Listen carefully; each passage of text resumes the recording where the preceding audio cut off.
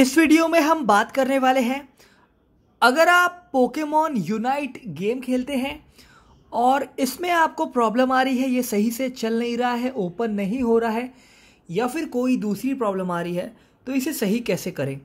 देखिए, सबसे पहले बेसिक ट्रबल शूट ट्राई कर लें, क्योंकि बेसिक ट्रबल शूटिंग से बहुत सी प्रॉब्लम सॉल्व हो जाती हैं।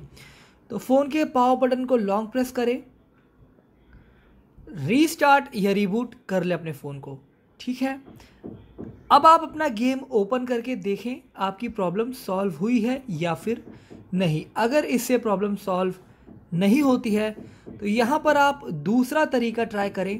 देखिए, जो भी गेम या एप्लीकेशन आप इंस्टॉल करते हैं डाउनलोड करते हैं प्ले स्टोर से करते हैं, और उसमें लेटेस्ट अपडेट आते रहते हैं। और अपडेट आने की वजह से कभी कभी बग्स आ जाते हैं और बग्स की वजह से हमारी गेम्स एप्लीकेशन काम नहीं करती है सही से। तो अब आपको क्या करना है, कोई भी ब्राउज़र लाइक क्रोम में चले जाना है, जो मैं सर्च कर रहा हूँ, वही आप भी सर्च करें। Pokemon unite up to down आप भी यही सर्च कर लें।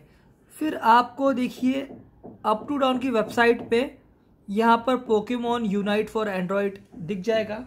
देख लें आपको इसी पे क्लिक करना है और ये ओपन होगा तो आपको यहाँ पर दिख जाएगा लेटेस्ट वर्जन का और ओल्डर वर्जन का ऑप्शन। तो आपको लेटेस्ट पे क्लिक नहीं करना है, उसमें बग आ जाते हैं।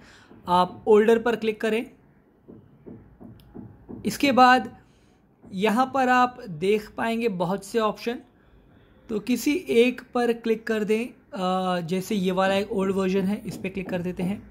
इसके बाद आप यहाँ से इसे डाउनलोड कर लें।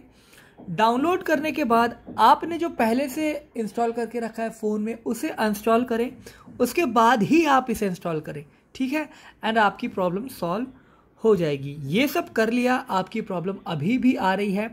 तो आखिरी तरीका यहाँ पर ट्राई करें। गेम पे लॉन्ग प्रेस करें। ऐप इन्फो का ऑप्शन आएगा, इस पर क्लिक करें। स्टोरेज के ऑप्शन पे जाएँ। क्लियर कैच, क्लियर डेटा कर दें और इसके बाद गेम ओपन करें, प्रॉब्लम सॉल्व हो जाएगी। देखिए, अगर प्रॉब्लम डेवलपर के तरफ़ से होगी तो आप थोड़ा वेट कर ले, वो खुद ही सही कर देंगे। अगर प्रॉब्लम आपकी तरफ़ से होगी तो जो तरीके मैंने बताए, उससे प्रॉब्लम सॉल्व हो जाती है। वीडियो पसंद आई हो तो टेक्सोर को सब्सक्राइब ज़रूर कर लें।